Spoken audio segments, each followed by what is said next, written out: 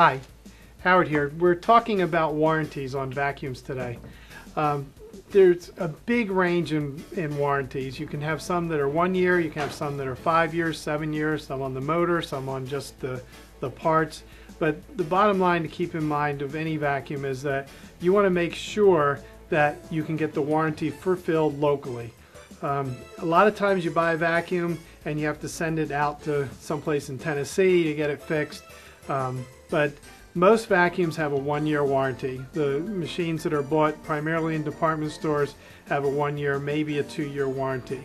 Um, warranties never cover removing dirt and clogs and things like that. Um, so if you pick up something you shouldn't have and you break it, which is considered abuse, that wouldn't be covered by a warranty.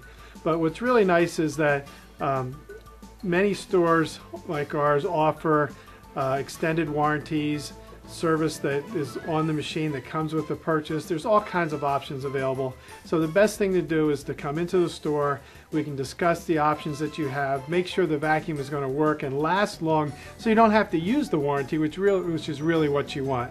Uh, a warranty is only as good as the people that are behind it. When you come in, we'll take care of you and you can rest assured that you'll be happy with your purchase for years to come.